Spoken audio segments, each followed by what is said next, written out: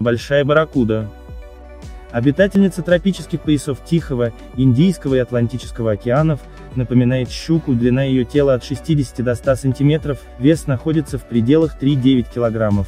Форма тела, торпедоподобная, что делает передвижение рыбы чрезвычайно быстрым, кроме того, снабжена большая барракуда мощными челюстями и крепкими зубами до 7 см длиной, что помогает ей с легкостью разрывать свою добычу на куски.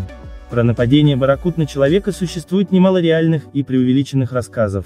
Хищники действительно кусают дайверов при плохой видимости в мутной воде или приняв за добычу, блестящие и трепещущие предметы, надетые на людей. Опасна барракуда, если загнана в угол или ранена, именно в такие моменты она нападает, но в отличие от акулы, она делает только один укус, но травмы, оставленные рыбой, небезопасны, острые зубы глубоко вонзаются в тело и могут повредить кровеносные сосуды. Укушенному приходится останавливать кровотечение и накладывать швы.